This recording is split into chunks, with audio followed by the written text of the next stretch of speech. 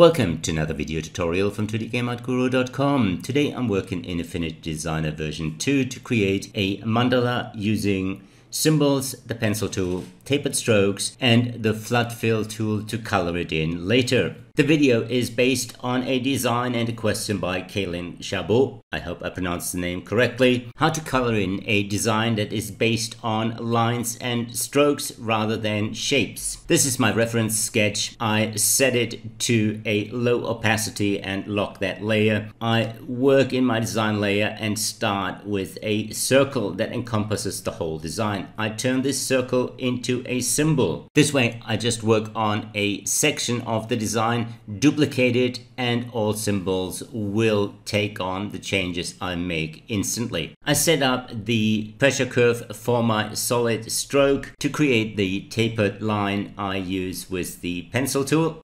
I make sure I work within the symbol and start drawing the lines with a pencil tool. For smoother lines and less nodes, I have the stabilizer turned on. For this video, I used my graphic tablet to draw. It creates flowing lines a little easier than using the mouse. I set the circle I created as a guide to 0% opacity. Its main purpose is to rotate the duplicates of my symbol without having to worry about adjusting the pivot point. In order not to accidentally work in a different symbol, I group all my duplicates and lock that group. As you can see, once I draw more lines, they are automatically added to all copies of the symbol.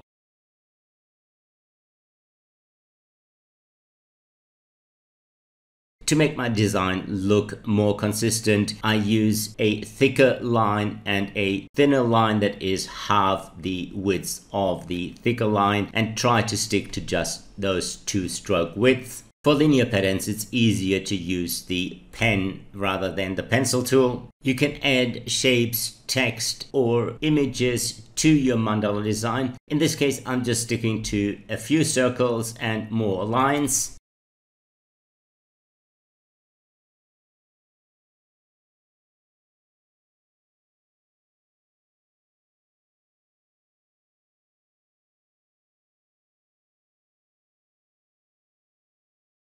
I duplicate and mirror the dots and place them on the other side. Once I zoom out, you can see the whole design and the advantage of working with symbols. I only had to draw one of the eight segments. For the flower pattern in the center, I used the same approach. I draw one half, make it a symbol, and duplicate and mirror that symbol. Adjust the pressure curve to taper to just one end. Affinity Designer will use that setting for my next strokes.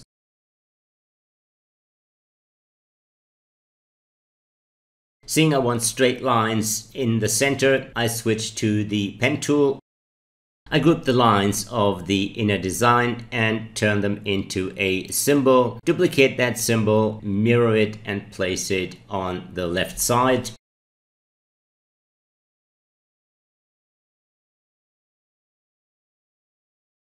Once you have your lines in place, it's easy to adjust them with the node tool.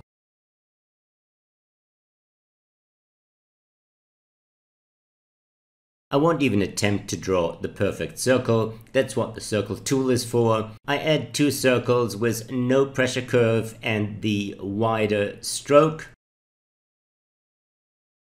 With all the major shapes in place, it's time to fine tune, adjust and connect the lines. With the snapping turned on, it's easy to align objects. Moving the inner part, the red line indicates that the object is centered. The same applies for the nodes. Moving the nodes into the same position turns them red. I remove some of the unevenness. Even with the smoothing turned on, there are excess nodes that I don't really need drawing with the pencil and the pen tool, adjusting with the node tool, and placing elements in symbols made it quick and easy to create the mandala pattern. When working on more complex designs, remember to save often and save in new versions of the file. Let's start adding color.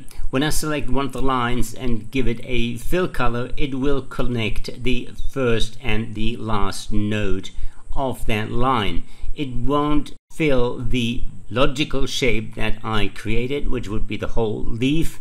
It's different with the circles as they are closed shapes. They take on the fill color without problems. There are different ways to approach this problem.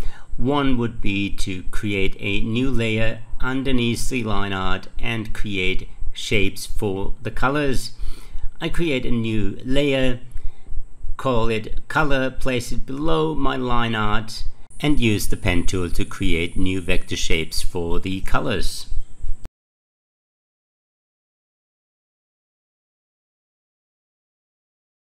Just like the line art, I create a symbol from this shape, adjust the pivot point, duplicate and rotate it so I have the symbols in place for all parts of the mandala design.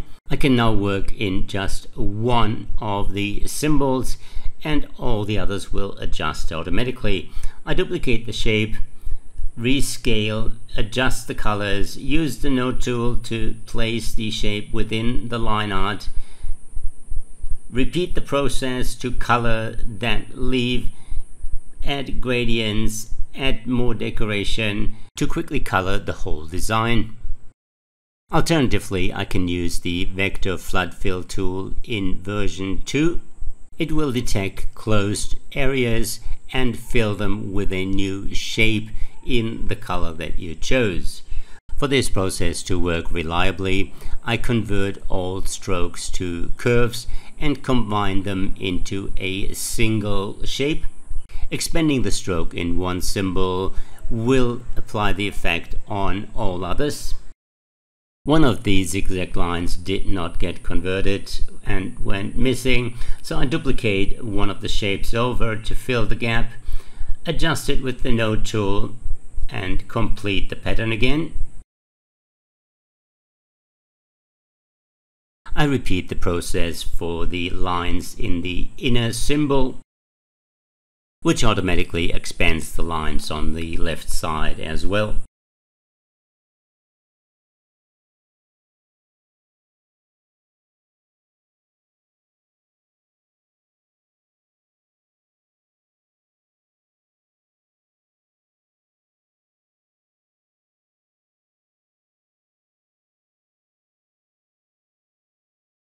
The results are a lot of nodes. That leaves me with the circles. They are still circles with a stroke and I will turn those strokes into curves as well by expanding them and now I just have vector shapes with fills and no strokes. I can now adjust the stroke and the fill color setting it to no stroke and a bright magenta fill color to make sure that all my shapes are selected. By ungrouping these symbols, I turn the whole content of each symbol into individual shapes that I can now combine using the boolean to create one single curve. It helps to select all shapes, not just the symbols. I forgot about the circles.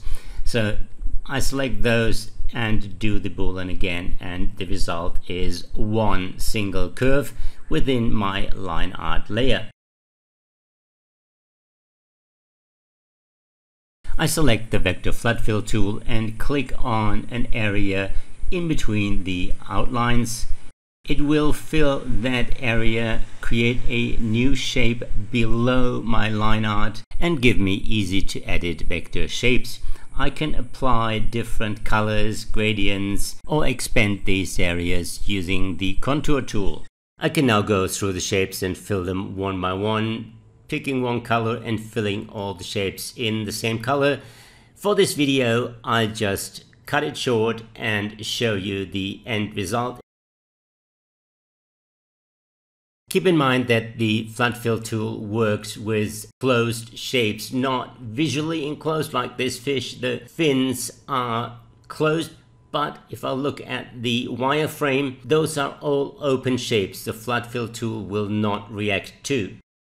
As with most vector design tasks, there are multiple ways to approach a problem. Using hand-drawn vector shapes and using the vector flood fill tool are two quick and easy options. In this video I used symbols, the pencil tool along with the pen tool tapered strokes and the vector flood fill tool as one of the options to color the shapes to create a colorful mandala design if you haven't used symbols before, I would recommend looking at some of the basic tutorials and the mini videos I created on the topic. They are fun and helpful and give you an idea what can be achieved with symbols.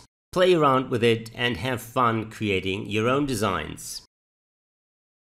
I hope you enjoyed this video and learned something new. If you did, please subscribe to my channel, leave a like and a comment below and I will see you again soon.